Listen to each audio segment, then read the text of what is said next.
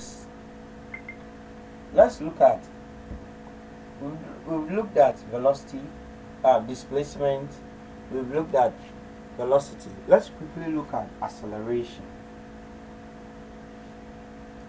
Acceleration.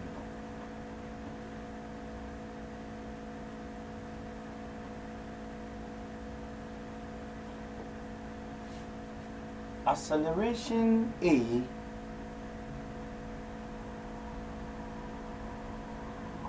is equal to dv on dt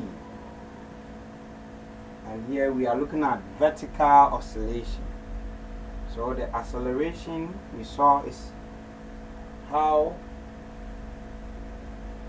how omega the velocity function changes. A omega cos omega t changes with time and so we got the acceleration equation as minus omega squared a sine omega t. This is the acceleration of the oscillating body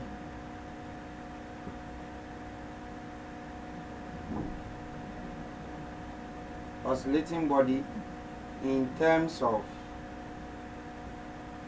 of time. And from here we were able to deduce that then if a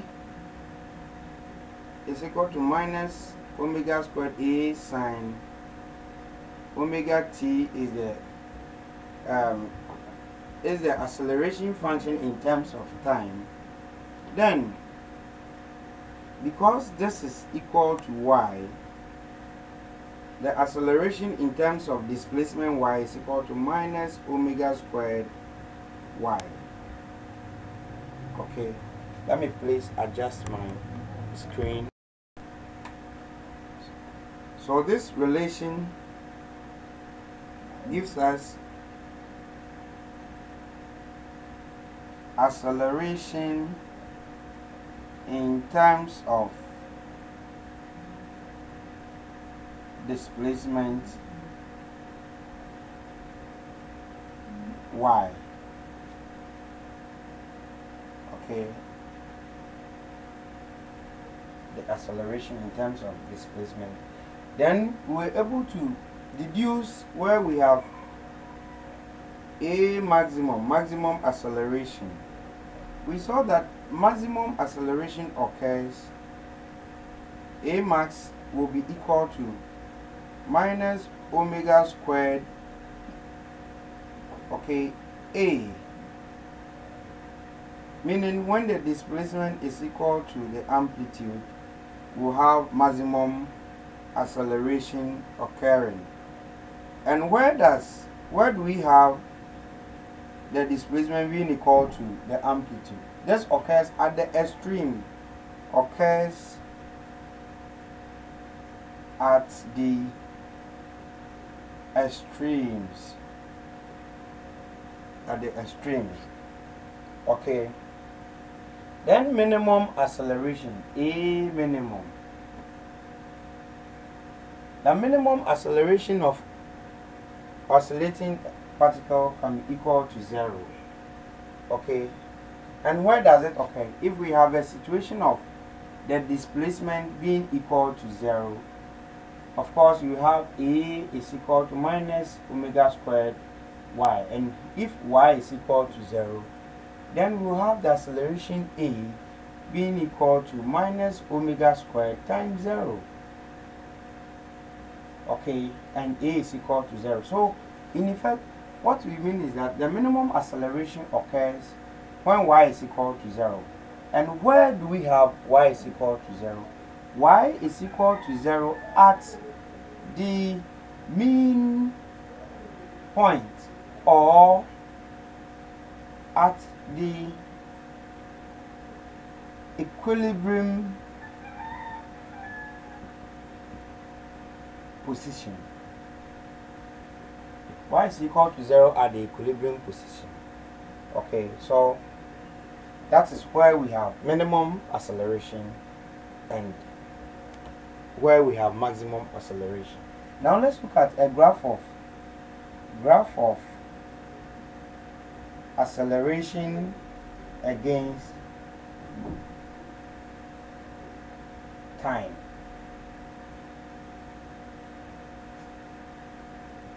So the vertical is for acceleration this is the time. At t is equal to quarter of the period half of the period three quarters of the period and then the period t. What happens? This is the acceleration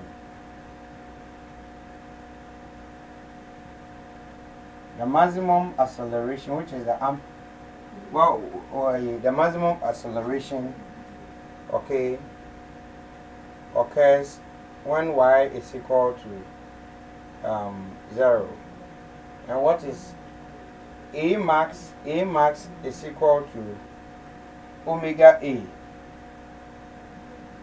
omega squared a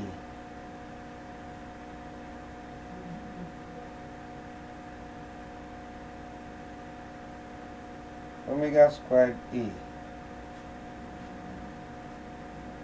okay. So this this is the amplitude. The coefficient of the sine function is the amplitude. And here we are considering the magnitude of it. That's why we have omega squared e and another amplitude minus omega squared e respectively. So when t is equal to 0, when t is equal to 0, what is the what is the acceleration? Acceleration is also equal to 0.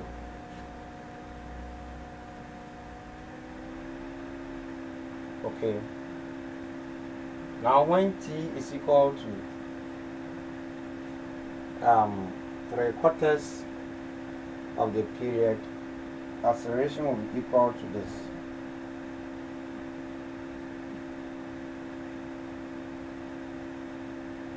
When t is equal to this, half half of the period acceleration is equal to zero. When t is equal to three quarters of the period, acceleration is equal to positive minus squared a equal to the amplitude.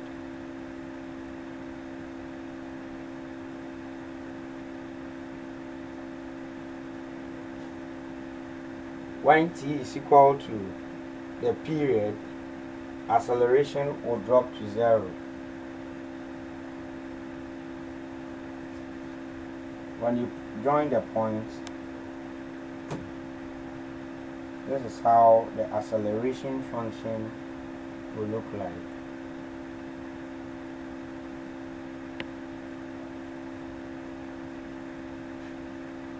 Okay. This is the graph of A is equal to minus omega squared A sine omega t so this is the acceleration graph. Telling telling us that at the time t is equal to 0 which is which is the mean point acceleration is minimum there.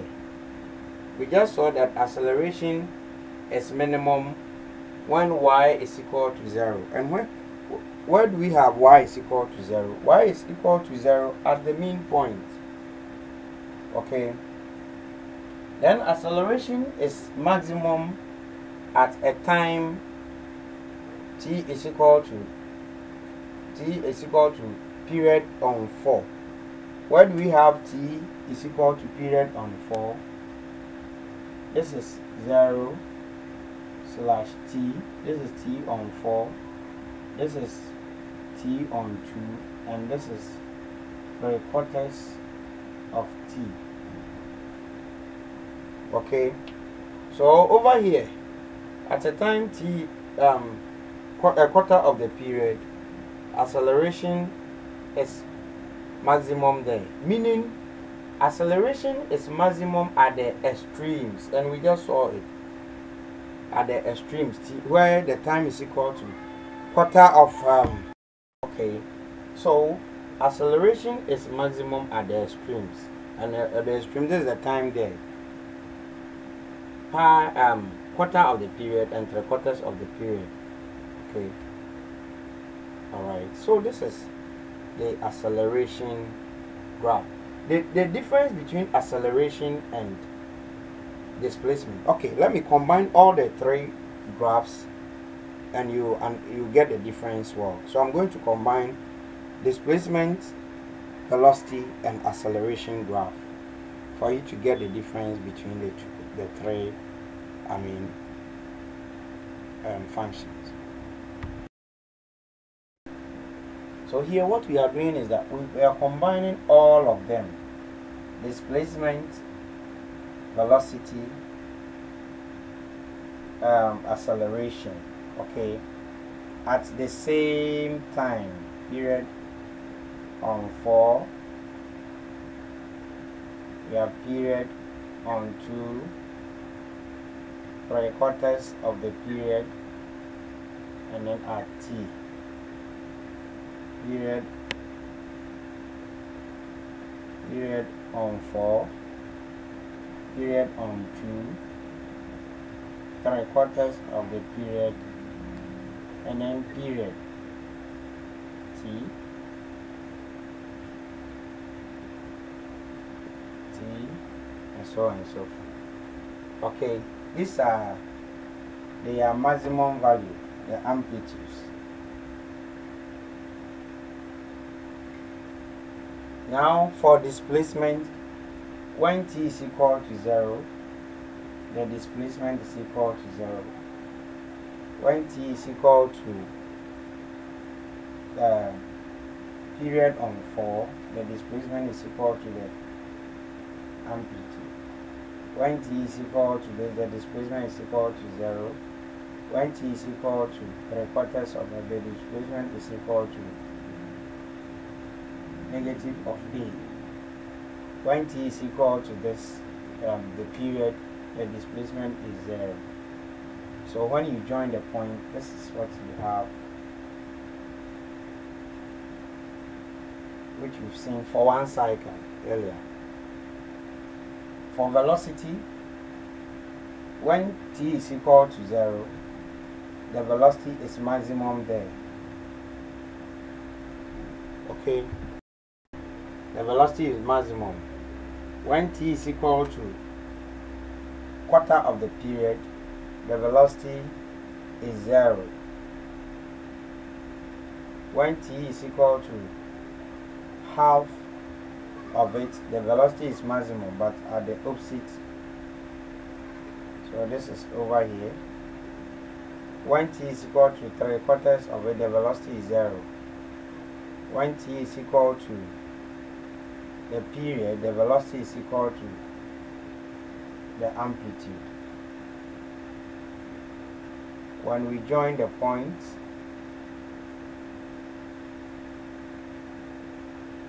this is this is what we have for velocity for acceleration when t is equal to 0 the velocity is 0 when t is equal to quarter of the period quarter of the period the acceleration is maximum there but in the opposite direction or is a negative. When t is equal to um, half of the period, the acceleration is zero. When t is equal to three quarters of the period, the acceleration is maximum, but it's a positive because cos of 2, this is um, sine, okay, sine of 2, a so have this positive value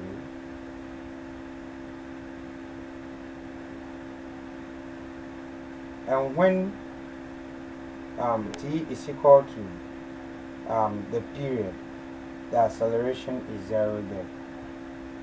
So when you join the point this is what you have for acceleration.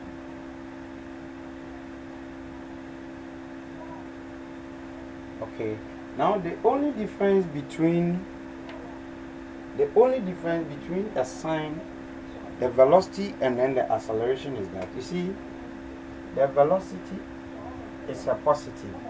It's given by um, a omega cos um, a um, a. The velocity is given a omega cos cos omega t. And the acceleration is given by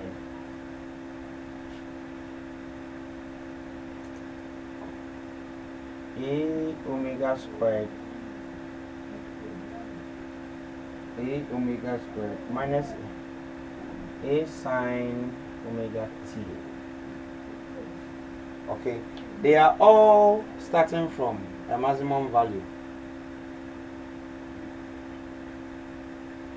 Um, okay. So this is a this is the difference.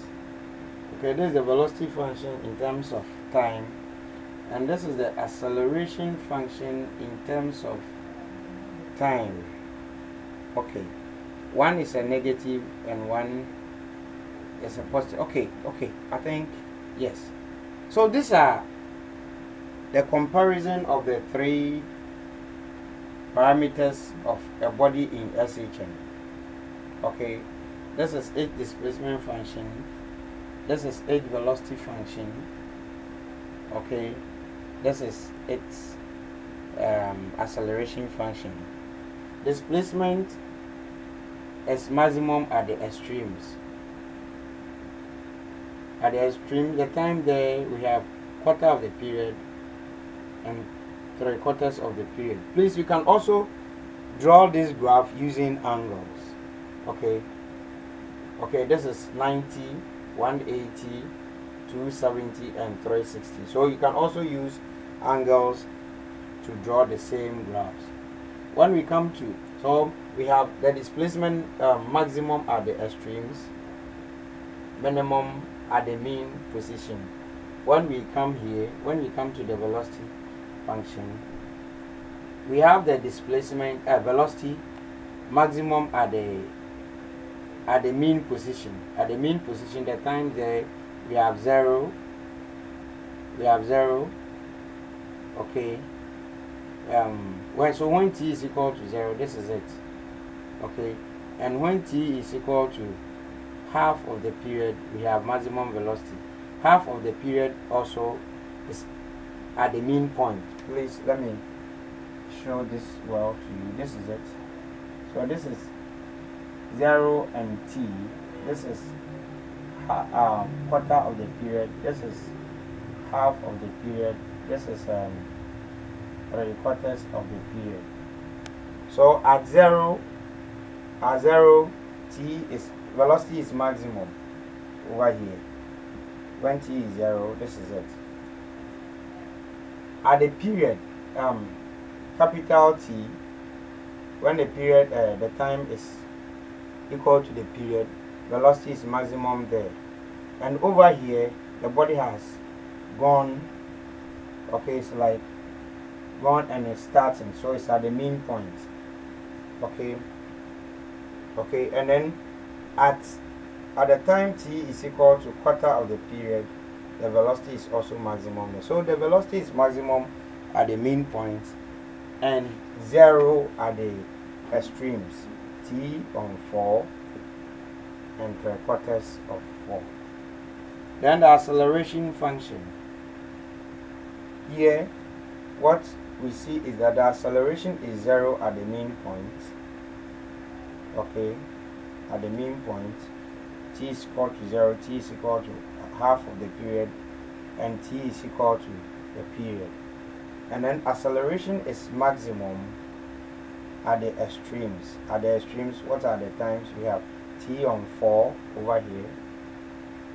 Then we have 3 quarters 3 quarters of the period over here.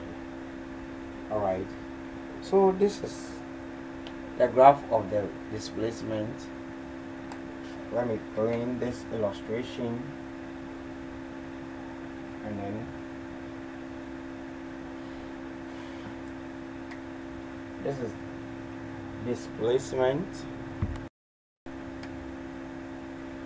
This is displacement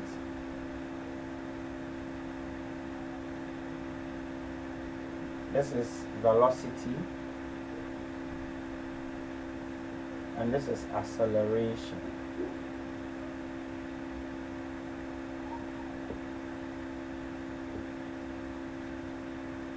Okay. Very important graphical representation. Now the next thing I want us to look at is let's use this idea of displacement velocity and acceleration to solve a question. Alright then we wash our hands of this whole concept and then move on. Alright before we continue let me draw your attention to this.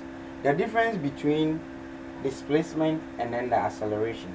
You see displacement function y is equal to a sine omega t and then acceleration function a is equal to a minus omega squared e sine omega t. Okay. The amplitudes are this and this respectively.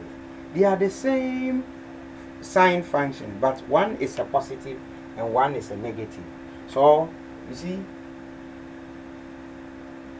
whilst look at the nature of the displacement function and then the acceleration function.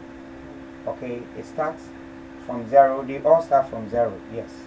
Okay but then because one is negative while this side this positive or upward crest or pulse is going this in this manner the other one because it's negative will be dropping in the opposite direction.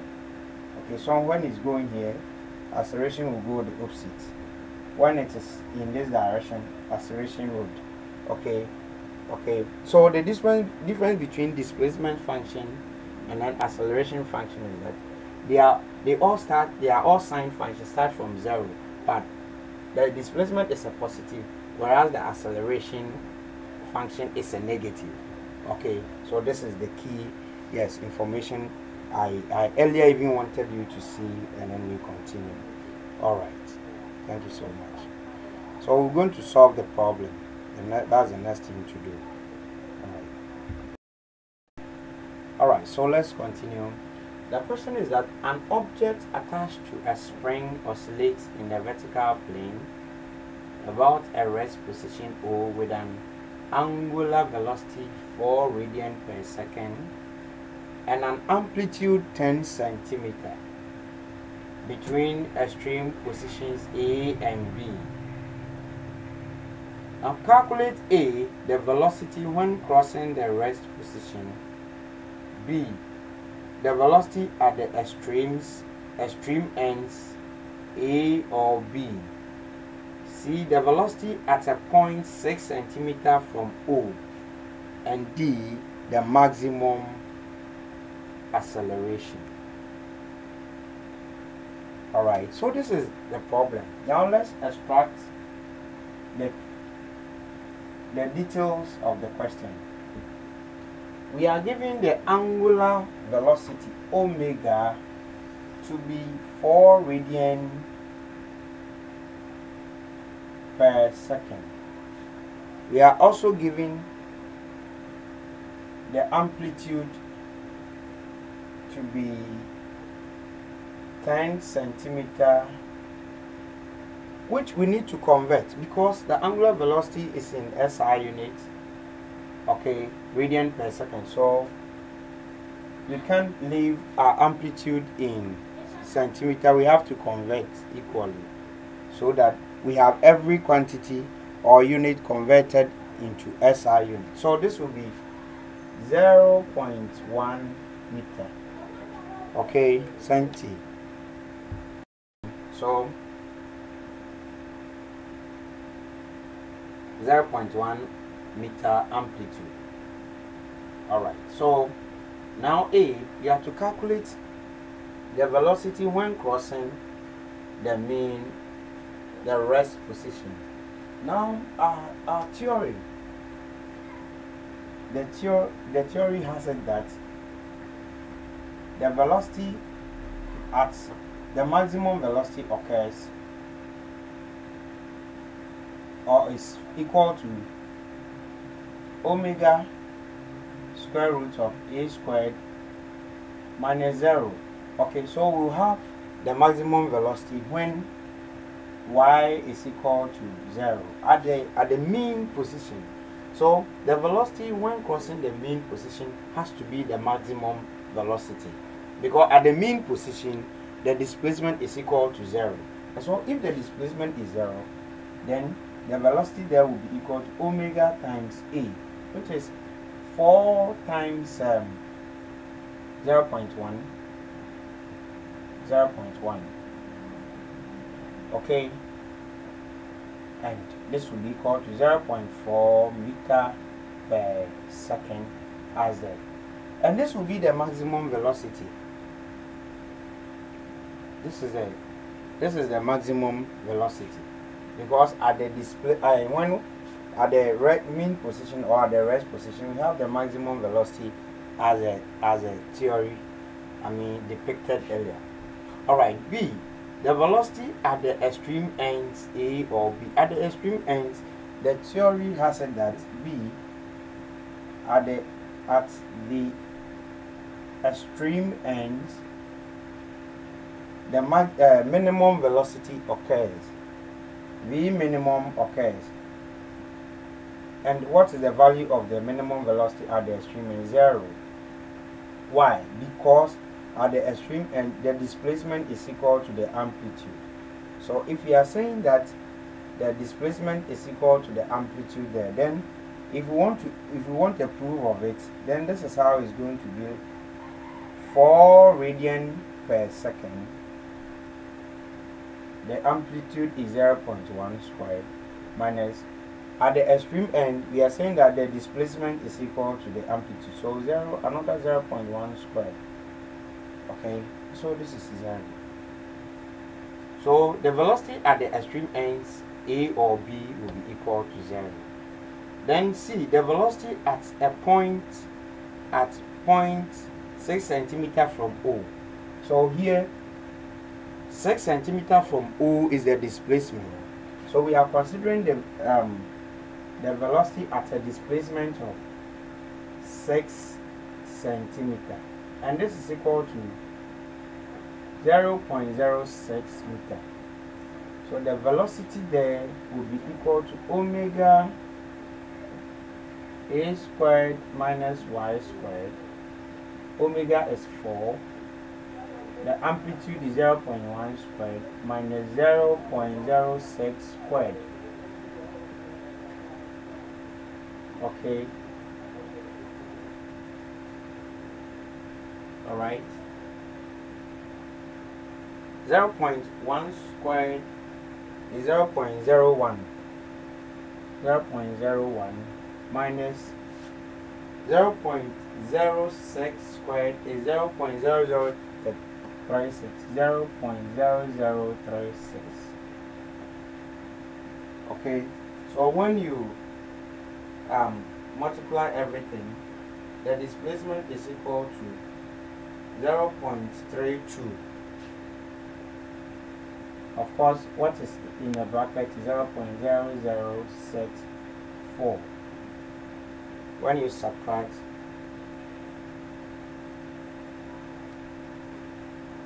you have when you subtract you have 0.0064 and so the velocity at that displacement is 0. 0.32 meter per second.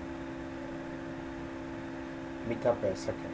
So at a displacement of 6 centimeter this is the velocity at the okay. And this is less than the velocity the maximum velocity at the at the mean point which is 0.40 um, meter per second. All right. Then d the maximum acceleration. A maximum occurs at the amplitude. And we have minus omega squared y or e. And here we have when a when the displacement y is equal to e okay? So the maximum acceleration will be equal to minus 4 squared times the amplitude. The amplitude is 0 0.1 okay? 0 0.1 0 0.10 so our value is minus 1.6 1.60 meter per second squared or the magnitude of the maximum the magnitude of the maximum acceleration is 1.60 meter per second squared okay. So this is an example of how to use the concept of displacement velocity and acceleration to solve to solve a problem. In our next meeting i'll bring another different set of questions for us to see how we can apply the concepts the concepts the various concepts learned in solving problems. Is that okay all right. Thank you so much for making time um, to go through this with me. And please do not um, forget to subscribe share and pass your comments. So so so so so important. I'll need i'll need those um subscription sharing and then your comments so badly. So please do not forget to do that for me. Thank you and see you i mean once once again next time. Bye bye